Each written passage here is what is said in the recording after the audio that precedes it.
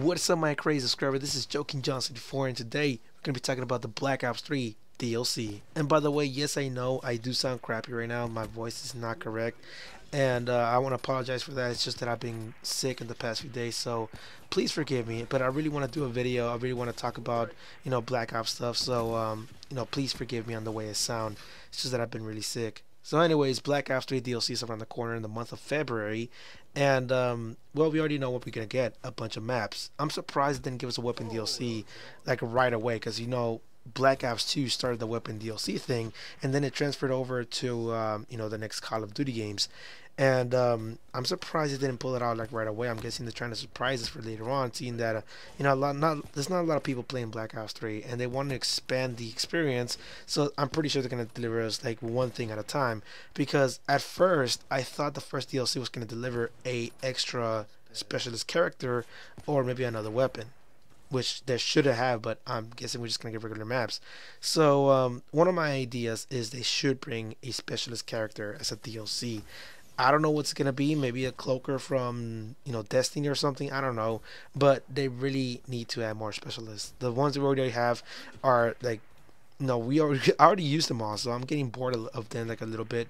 Uh, but I know the people that are barely playing this game are barely using them, so uh, I know they haven't experienced the full thing. But once you're done, I mean, what are you going to use next? So I'm hoping they bring in two new specialists in the future.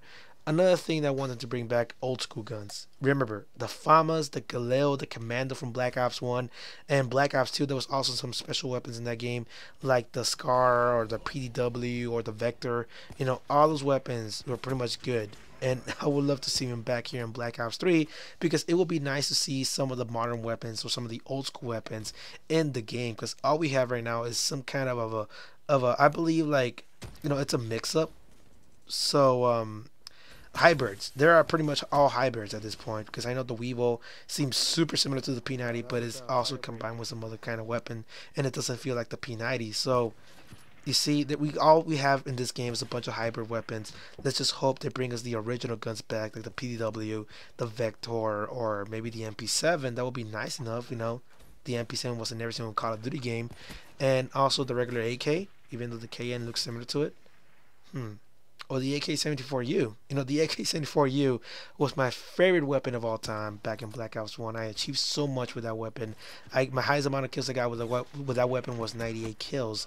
And that was a hell of a gameplay, man, because I called in like five chopper gunners and shit. And it was total insanity. I love the AK-74U. Let's just hope they bring in some of the old school weapons. Another old school weapon I want to talk about will be the Thompson from Call of Duty World at War. Let's just hope they go in a little bit classic or something like that.